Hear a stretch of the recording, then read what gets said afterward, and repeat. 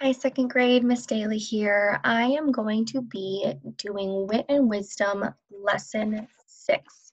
And for this lesson, our I can statement is, I can learn about a text by looking at the images.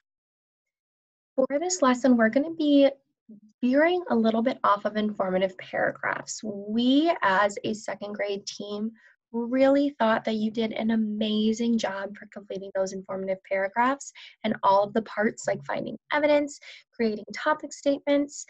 But we're starting a new part of distance learning that will really, really help us learn to the best of our ability. Okay, so we're going to put a pause on informative paragraphs and start really diving into the text and how images can help us learn more about the text. Okay, First, we are going to be studying this book, The Digestive System by Christine Taylor Butler. We've gotten a read aloud, we've found some evidence, we've learned a lot about this book so far, but we really haven't been able to dive into the images. Okay? For this lesson, I'm going to be asking a series of questions for you. All right, I'm also going to give you some time to pause and some time to think about what your answer is going to be to the questions that I ask. Okay, I'm gonna give you a good amount of time to really, really think.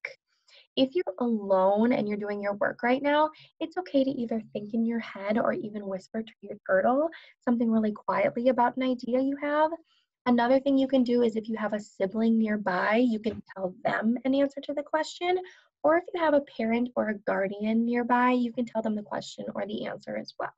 All right, as long as you're really, really thinking hard about these answers, you'll be good to go okay? First, I see a couple images here. The first thing I want you to do is figure out what do you notice about these two images? What do you notice about either one? I'll give you about 15 seconds to think about what you notice.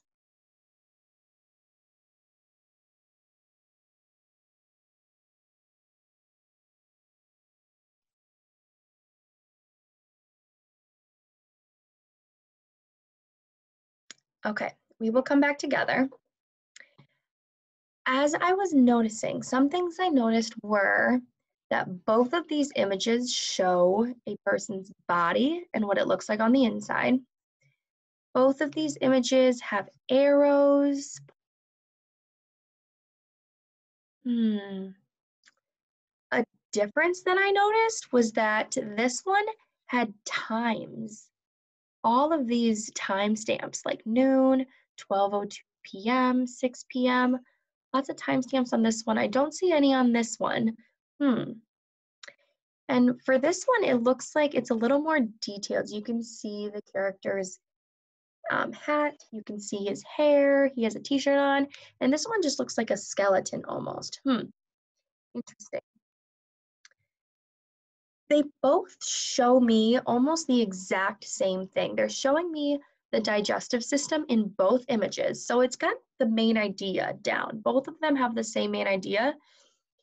Why do you think the author included so many images and pictures of the same thing? Why do you think the author included so many images of the same idea over and over again in their book? Give you about 15 seconds. One more time. Why do you think the author included so many images of the same thing, of the digestive system? Think. Maybe tell a parent, a guardian, a sibling, and then we'll come back together in about 15 seconds.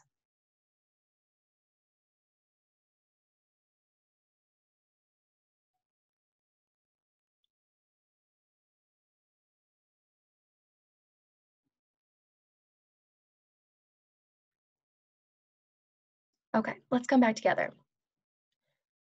Maybe you came up with an answer along the same lines as mine.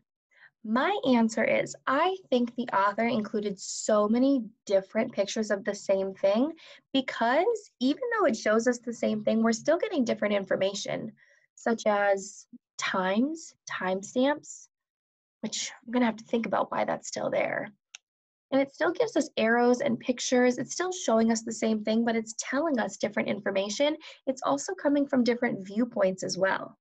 All right, it's pretty cool. Now here's the question that I'm really wondering. Why do you think that the author included timestamps in this image? This one says noon, which is 12 o'clock p.m. This one says 12.01 p.m. Here's 12.02, 3 o'clock, 6 o'clock p.m., midnight, 6 o'clock a.m., and 7.30 a.m. I'm going to give you some time to think. Why do you think the author included the times in this image? 15 seconds.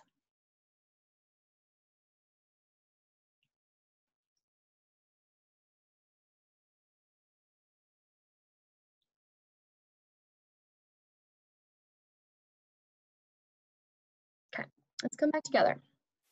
I want you to put your hands on your belly if you had the same answer as me, okay? I'm thinking that the author included these timestamps in this picture because it's showing us that digestion takes a long time. It takes from the time you take a bite of your food to the very next day to digest. How many of you have your hands on your belly? I do, okay? So it's telling us, man, all of these steps are happening at all different times of the day, and it happens throughout the day. Digestion doesn't take a bite down to your system and out. That doesn't happen so fast. It's a bite, and then it goes through all of these different courses all throughout the digestive system, and then the next day is when it comes out. That's pretty cool. All right. Next, I have a couple images. First, I want you to notice what is different about these two images. I'll give you about 15 seconds. What is different about these images?